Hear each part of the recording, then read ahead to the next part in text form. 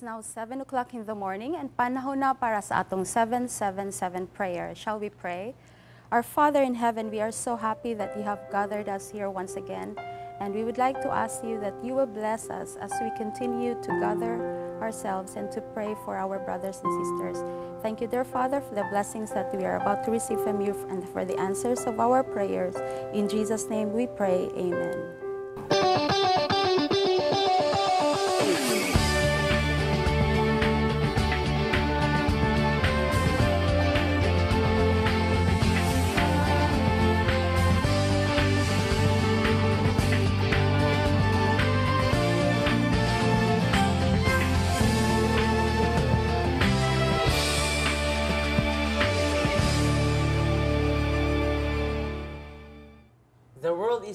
Full of diseases and wretchedness.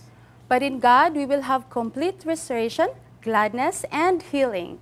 Come to Him, for He is the only source of true healing and happiness till eternity. Yes, good morning Luzon, Visayas, and Mindanao. Welcome sa atong programa nining Taknas Kabuntagon. Let us always praise the Lord.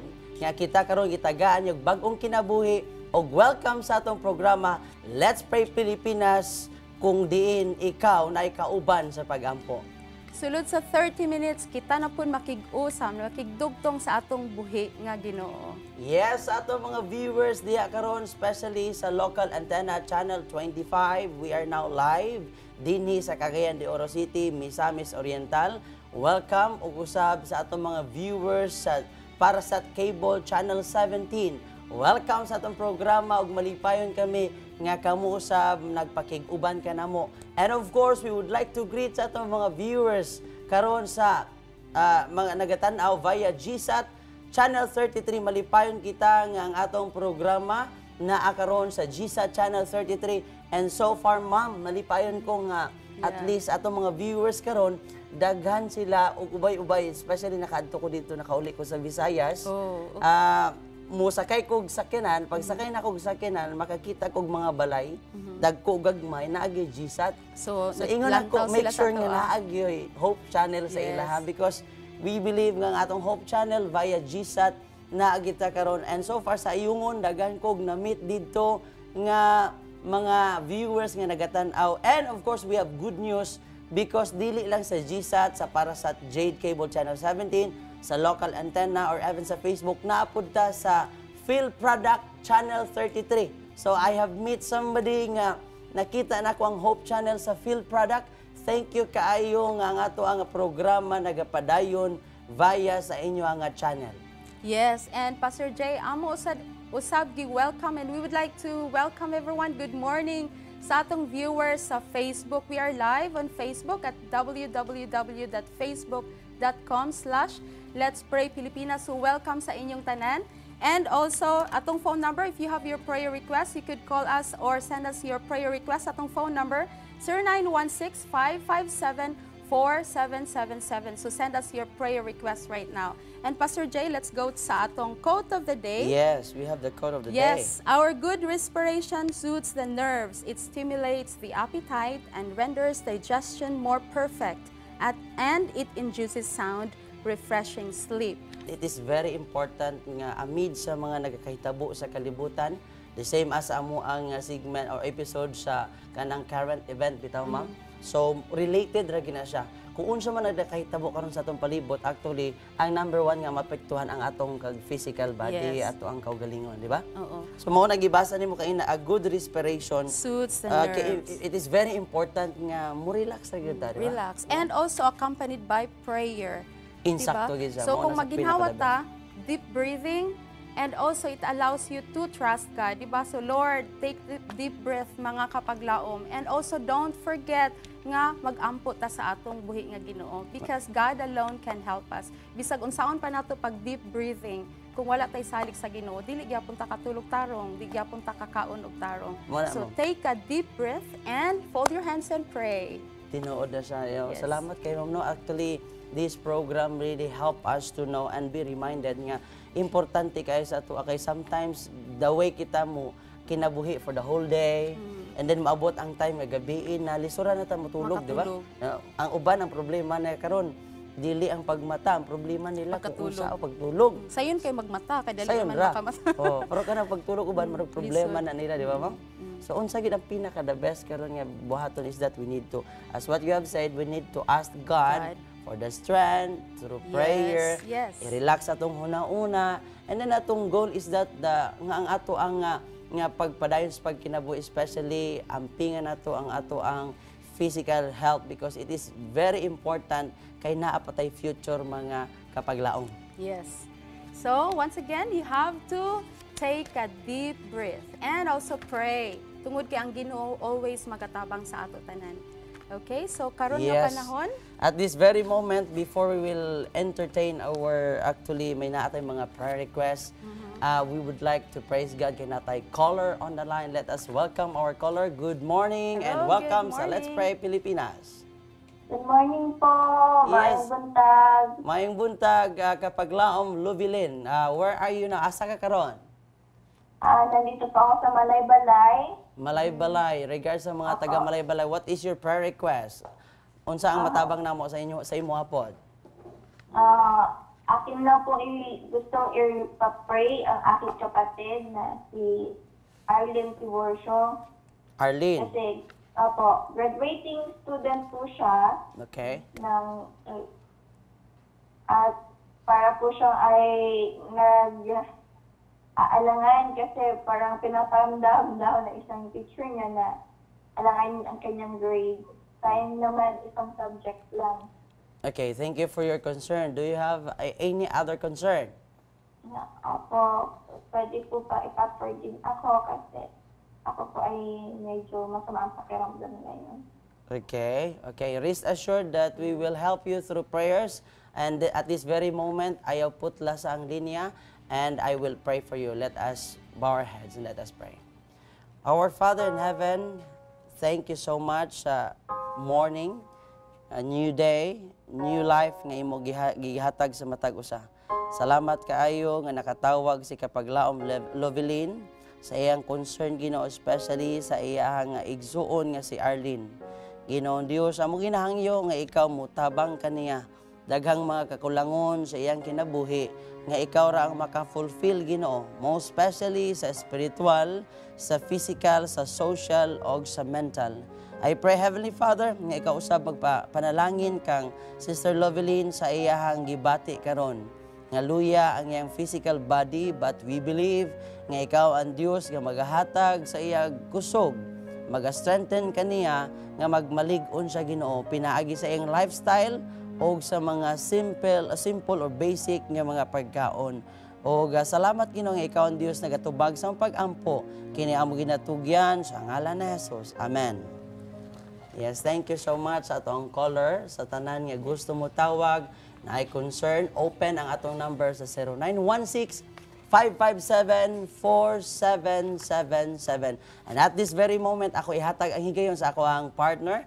Ma'am, pwede ka makabasa itong prayer request? Okay, mga kapaglaom, salamat kaayo sa inyong pagpadala sa inyong mga prayer requests ug ato kining pagabasahon. First is good morning kapaglaom, mamalihog mi pag-ampo ni Samuel Baguio nga naa sa hospital karon nga na-admit sa iyang high blood to sa taas iyang high blood. Ah, okay. Okay, so another is good morning prayer warriors. Please pray sa akong mama nga si Beverly Lagno sa iyang gibati karon.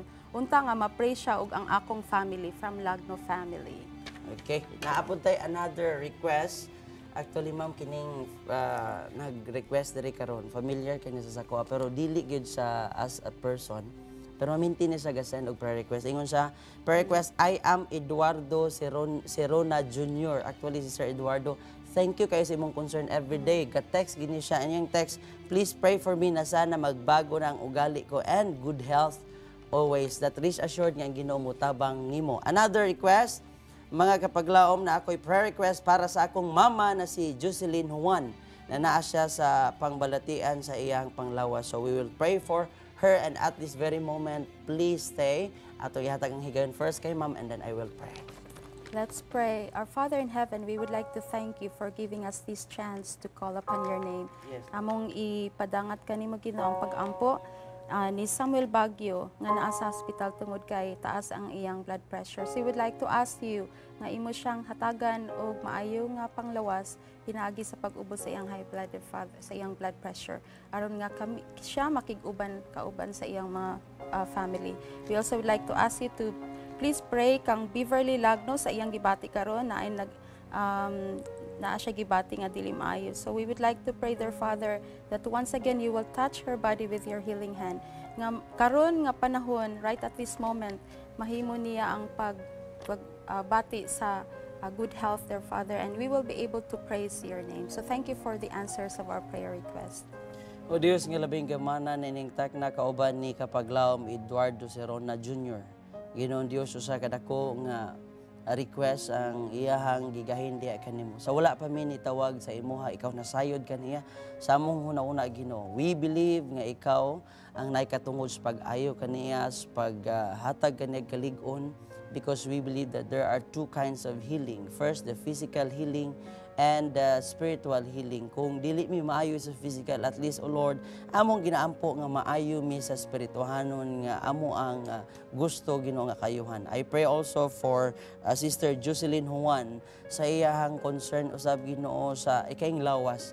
Ginoong Diyos, wala mi nag-meet personally, we don't know her, but we believe nga since nga siya nag-exist, kauban namo Ginoo ikaw na plano dako sa matag usa and that is our body and our life is to glorify and to worship you as our living God.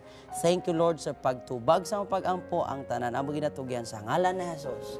Amen. Okay, once again, thank you uh, mga kapaglaom sa inyong pagpadala sa inyong mga prayer requests. And once uh, nanapod tayo caller sa linya, good morning. Yes, let us welcome. Welcome sa Let's Pray Pilipinas.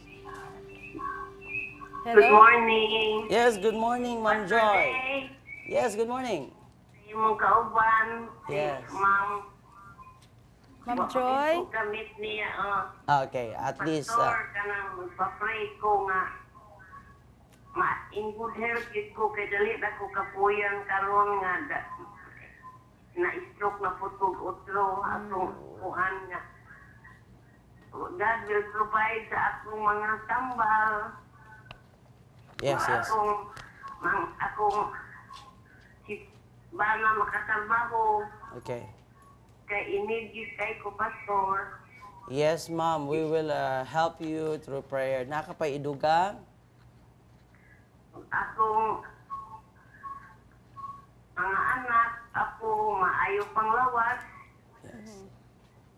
Okay, thank you so much and rest assured nga mutabang kami o kanunay ang ginuna sayod ka nato. Hangyo unta ka pagduko sa imong ulo alang sa pagampo. Let us pray.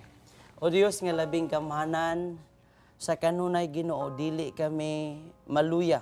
Dili kami makapuyan sa pagpalapit sa imo.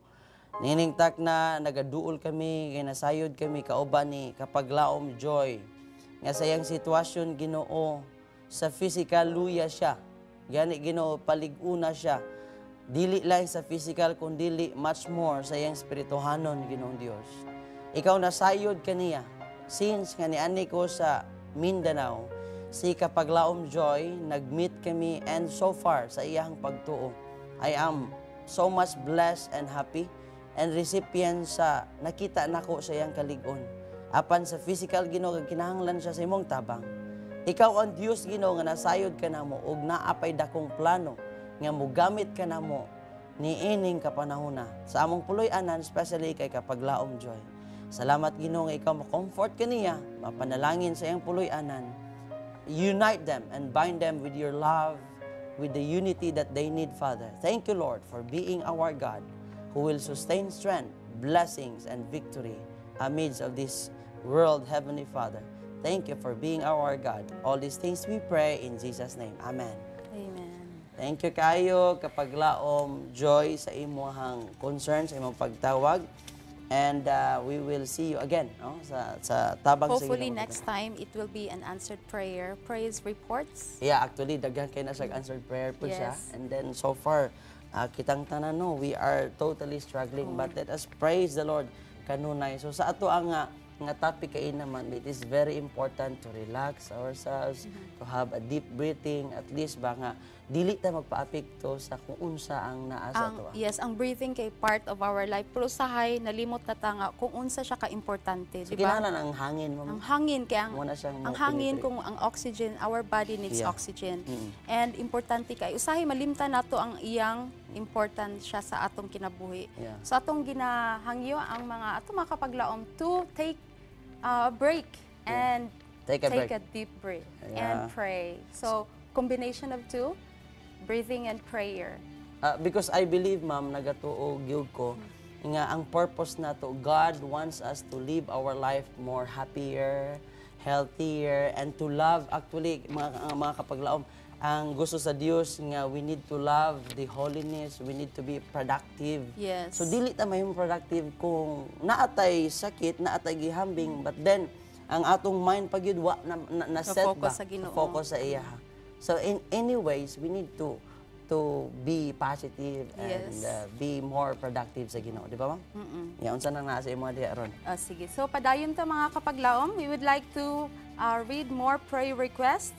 Um, first is, hangyo ko sir, patabang ko og ampo sa akong bana na ami sa pagsulay karon Iampo sir, nga kapon sa ginoo iyang kasing-kasing, lang, lamdagan iyang hunahuna nga muli na siya sa amua, sa iyang pamilya ug sa akong mga anak, nga magtarong sila sa ilang kinabuhi og pag eskwela og ilikay sila sa mga pagsulay diri. Ug sa ako pod mama sir nga gahapon pa lang nakagawa sa hospital tungod sa iyang diabetes Un- unta tagaan pa siya og taas-taas nga kinabuhi sa Ginoo ug sa akong igsoon nga naluya karon nga hikapon siya sa Ginoo ug mamaayo na siya daghan kaayong salamat.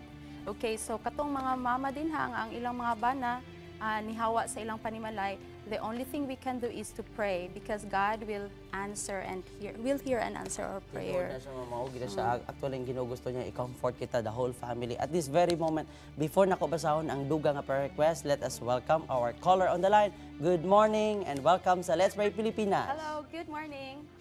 Morning. Yes, kapag laom, Dison Tanilon, taga-asa sa Taga Tambo Ayungon, sir. Tambo, Ayungon. Okay, so far naka ah, si kapag laom Dison nag-uban mi dito sa Ayungon. Ah, nagkita so, na mo? oh, yeah, nagkita mi actually na anay kasal, we would like to congratulate katong newlywed, no? Ato i-congratulate si brother or si kapag laom Romfred og ang iyang asawa. So thank you and God bless sa inyong kaminyon. What is your prayer request?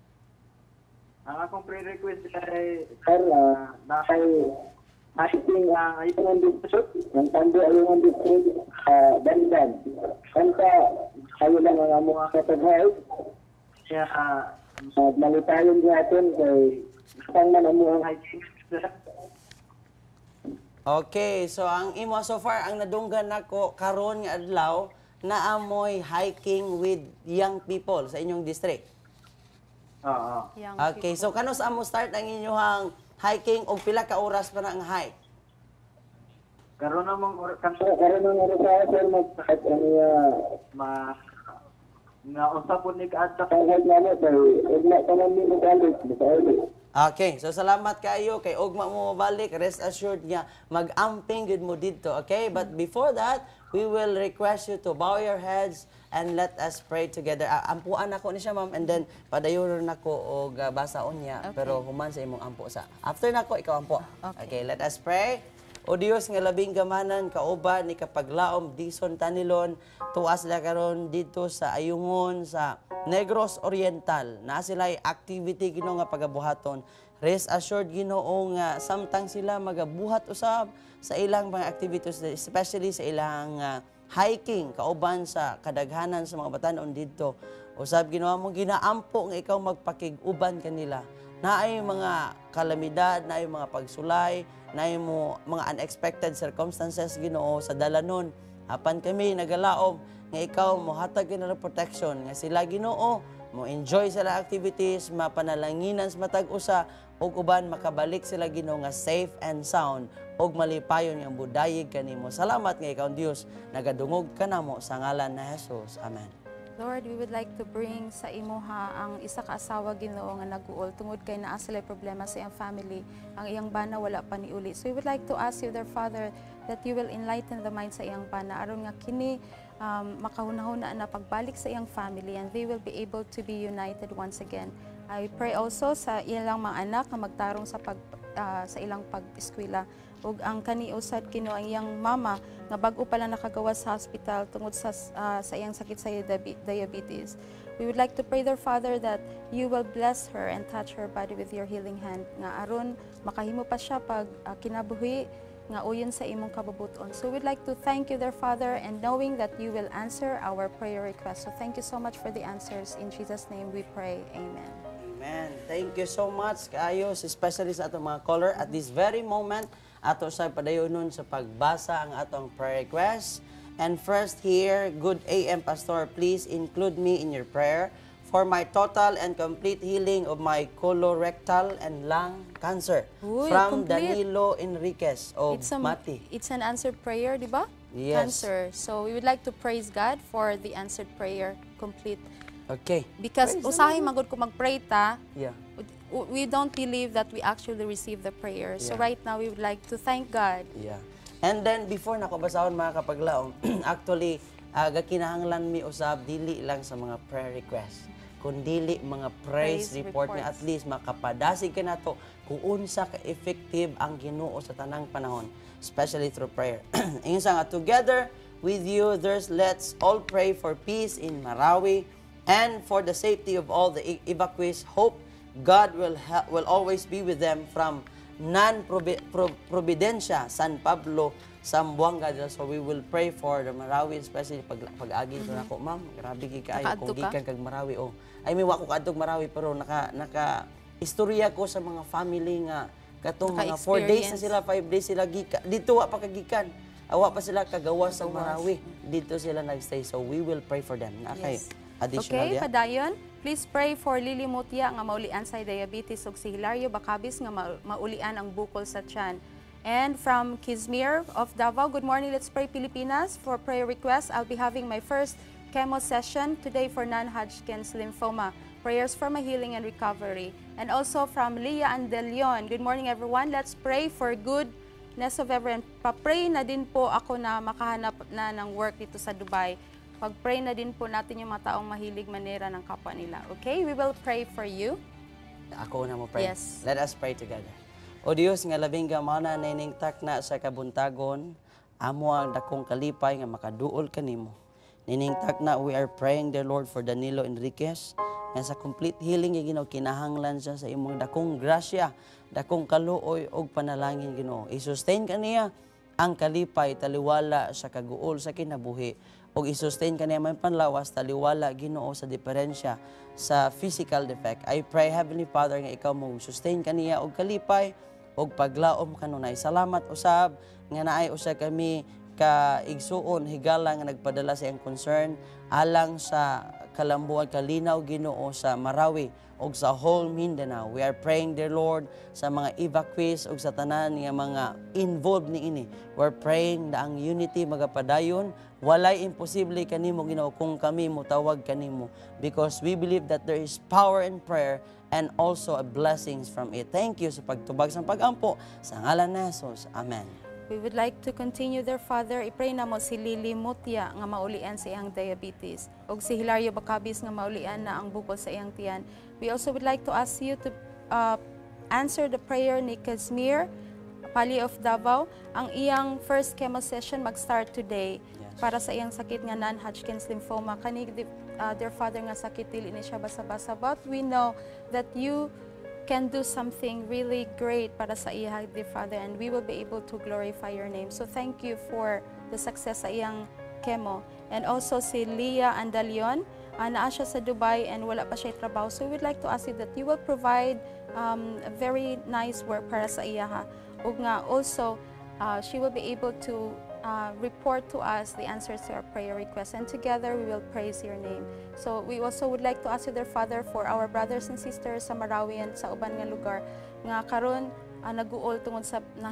So we would like to ask you, dear Father, that you will comfort them and let them feel your presence, that you are there to help them. Thank you so much for the answers to our prayer requests. In Jesus' name we pray. Amen. Amen.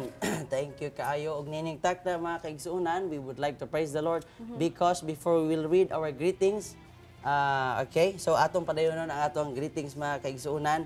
And uh, from uh, Lovelin Tiborcio, pabati si Tita Linda rin sulat ang anak niya si Ate Jang mamaya sa Let's Pray. Okay, we would like to greet you, especially sa kay Linda rin sulat o sa iyang anak nga si Ate Jang. At at this very moment, before nako padayonon sa pagbasa mga kaigsuunan, na atay caller on the line. Let us welcome our caller. Welcome sa Let's Pray Pilipinas. Good morning. Hello, good morning. Yes, good morning kapag Laom June. Hello, good morning, Pastor. Yes, good morning. Where are you? Asa ka karon? Ah, ari ko sa Araca North, Cotabato. Yes, regards sa mga Ilonggo diha nga nagapamati subong. Okay, tagang salamat, Pastor. Ano imo nga ano imo nga concern? Prayer request? Ako din na ako ni Abel sa pre-request ang akong pamilya nga layo dire sa kuha nga naa sa Cebu. Okay. Uh, naa sila sa may Panglawas. Okay. Ah o sa mga pang sa ilang mga panginabuhian. Hmm, ako ginaampo sa ang ang tagsatati sa ilang protection sa ilang kinabuhi. Okay, thank you kaayo. Do you have any additional na pa? Ako sa ginaampo ang mga kaigsuunan o kahigalaan sa Marawi. Okay, okay. Sige. Okay. Thank you kaayo. Yes, thank you kayo sa imong concern at this very moment. Please stay on the line and I will pray for you. Let us pray together. O Dios, nga labing gamanan si kapag laom joy sa June sa Blante. Sa iyang sitwasyon Ginoo layo siya sa iyang puloy-anan. We're praying the Lord nga ikaw magapanalangin kaniya especially sa iyang family didto sa uh, Cebu. Usab Ginoo didto siya karon sa Cotabato. Praying that ikaw magapanalangin sa mga plano sa matag usa kanila didto og sa mga thousand missionary nga na-assign whole world. Ginoon Dios, salamat Ginoo sa iyang concern. Ikaw na sayod sa iyang kasing-kasing kining tanan amo ginatugyan sa ngalan na Jesus. Amen. Salamat kaayo ug akong padayonon ang atong greetings. Uh, we have greetings from Angel Monte Calape. Good morning, Let's Pray Pilipinas. Dagang salamat sa inyong mga pag-ampo o God bless. Thank you po sa imong support through prayers. And from Analo Salbo nga na ato karon dito sa gawas. Good morning kanimo. Yes, Good good morning. morning. Let's pray Pilipinas inspired by the quote of the day. Oh, May God okay. bless us all. Thank you for being the recipients. And lastly from Cubs, Lynn J. Good morning. Let's pray Pilipinas. God bless us all watching here in Kuwait. So, tanan nga naga naadi karon sa Kuwait. Good morning kaninyo tanan. And we would like to praise the Lord for amidst nga mubo ra atong higayon Yes, ma'am. ra Remember that Let's Pray Pilipinas and Hope Channel is a channel nga makakonect kita diya permanente sa Ginoo. And so far mga kaigsuunan, let us remember God desires that His people may enjoy first good health and have a long life. He doesn't want His peop- people to suffer from any kind of illnesses. Yes, mga kapaglaom, nahuman na po ang atong 30 minutes sa pagpakiguban. And let us live according to God's will. And always, we should remember nga ang atong treasure sa gift sa fresh and pure air. Dili nato na siya kalimtan. Salamat sa pagpakiguban kanamo pinaagis pag-ampo usab ni ining adlaw ug padayon sa pagpadala sa inyo mga praise report o prayer request. We are happy here sa atong programa dinhi lang sa Let's Pray Pilipinas!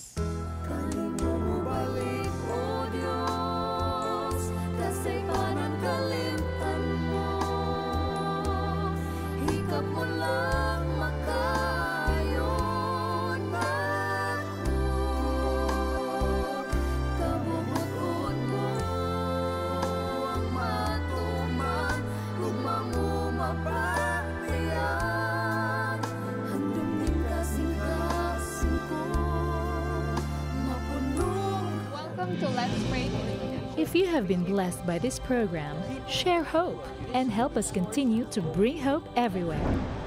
Send your donations to South Philippine Union Conference through any of the bank details shown here.